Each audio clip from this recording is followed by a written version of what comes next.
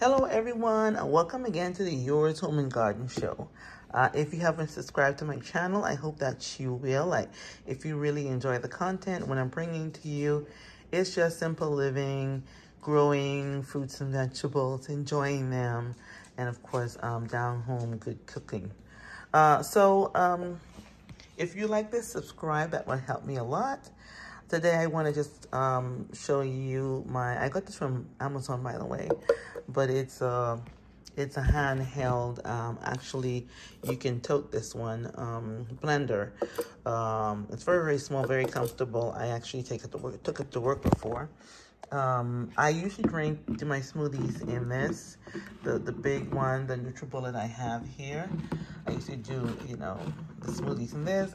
I wanted to eat some watermelons, and I said, hey, instead of eating the watermelons, let's go ahead and blend them. So this is the bottom part here. Uh, this is, of course, where it gets charged. It's charged now. I'm going to go ahead and um, just um, attach this to the bottom. Uh, put the cover over it. Okay. And I'm going to turn it on. It has right here, Pop Babies.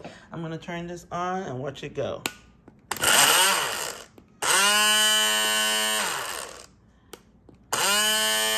I think it needs a little bit of water. Hold on. Okay, so we're back. I put some um, orange juice in here.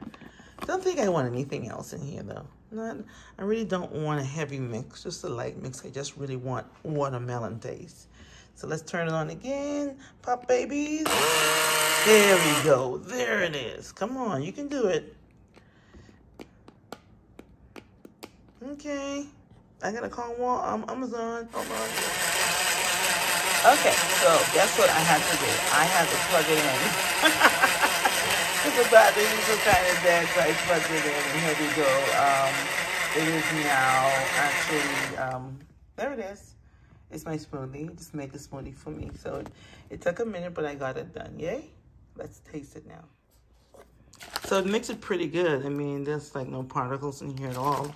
Just makes it really, really well and I'm gonna eat it. I'm gonna drink it, sorry. Drink, drink, drink my watermelon and of course, a little bit of orange juice smoothie.